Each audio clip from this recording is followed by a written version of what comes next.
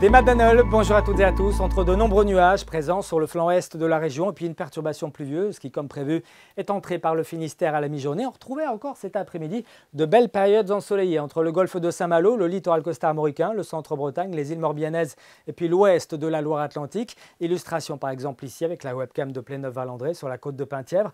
Nous sommes dans les côtes d'Armor. Le mercure est monté jusqu'à 25, 26 degrés cet après-midi avec de plus en plus de nuages hein, qui prennent l'ascendant ce soir. Notez qu'il a fait 27 degrés 4 à et puis ici à l'Armor Plage, en raison d'un léger courant de secteur sud-ouest, le mercure avait du mal à dépasser les 22 à 23 degrés. Mais l'ambiance était tout de même bien lumineuse, tout comme ici sur le port d'Arzon. Magnifique webcam signée Scapping. On poursuit avec la carte technique de cette journée de mercredi où l'on voit la perturbation finistérienne se décaler demain matin vers l'est de la région. À l'arrière, on retrouvera donc une poussée anticyclonique qui sera de bon augure pour la journée du 15 août, en attendant cette perturbation qui devrait arriver pour la journée de vendredi.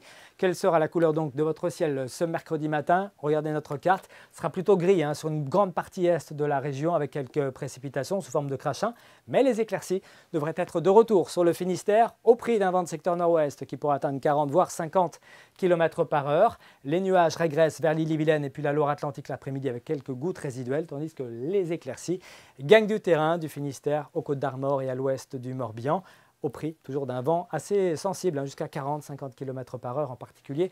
Sur notre littoral, côté température, sous les nuages de la nuit, eh bien, on prévoit des valeurs plutôt douces, 15 hein, à 18 degrés, 15 pour le centre-Bretagne, 18 à Dinard, à Erquy, à Saint-Cam, mais également à Belle-Île, 17 degrés à Rennes, à Nantes ou encore à Lorient et Vannes. Et puis dans l'après-midi, c'est un petit peu juste sur notre littoral exposé au vent de secteur nord-ouest, 19 hein, à 22 près de la Manche.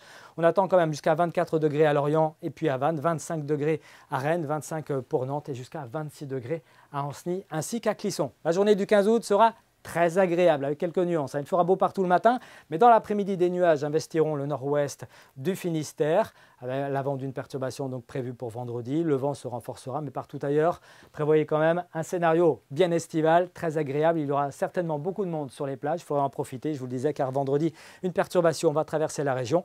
Les éclaircies seront de retour samedi, mais dans une ambiance un petit peu moins chaude. Très bonne soirée à tous et à bientôt. Kenavo.